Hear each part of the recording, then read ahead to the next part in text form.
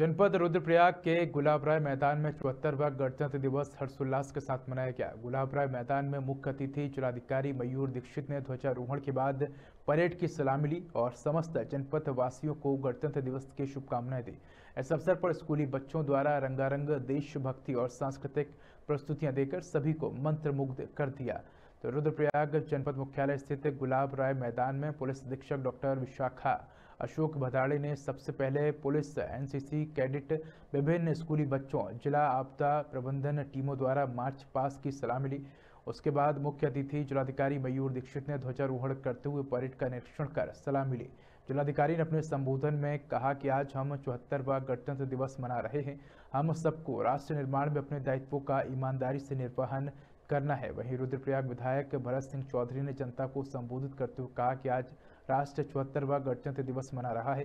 इन चौहत्तर सालों में देश प्रगति के मार्ग पर निरंतर आगे बढ़ रहा है। केंद्र व राज्य सरकार की जन कल्याणकारी योजनाओं का लाभ हर अंतिम गरीब तक पहुँचाया जा रहा है। रुद्रप्रयाग से सत्यपाल नेकी की रिपोर्ट।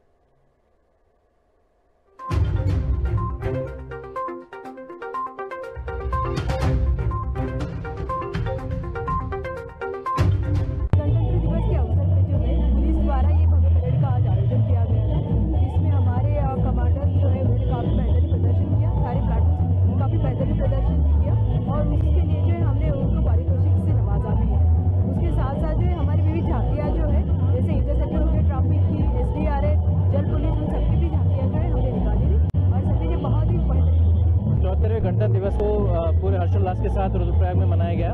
और यहाँ पर गुलाबरा मैदान में हमारे सांस्कृतिक कार्यक्रमों के साथ साथ पुलिस के द्वारा भव्य परेड का आयोजन भी किया गया और करीबन 30 से 40 ऐसे उत्कृष्ट कार्मिकों को भी पुरस्कृत किया गया, जिन्होंने पिछले वर्ष अपने कार्यशैली से या फिर केदारनाथ यात्रा में उन्होंने अच्छे दायित्व से निबंधन किया।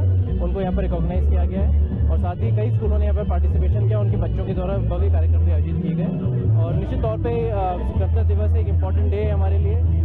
संविधान निर्माताओं को और हमारे शहीद जो जिन्होंने हमें देश को आज़ादी दिलाई, उन सभी को हम नमन करते हैं। कार्यक्रम हो रहा है गणतंत्र दिवस पे रुद्रप्रयाग और रुद्रप्रयाग में गुलाब राय मैदान में तो बहुत ही रंगारंग कार्यक्रम हो रहे हैं और काफ़ी मज़ा भी आ रहा है, काफ़ी उत्साह भी है बच्चों में। पहले पुलिस वालों की और एनसीसी वालों की और जो एसपीसी एसपीसी के कैडेट हैं, उनकी सबकी परेड हुई। उसके बाद काफ़ी अच्छा लगा और सबको शुभकामनाएँ देती हूँ मैं गणतंत्र दिवस की और ऐसे ही बस सब कुछ अच्छा से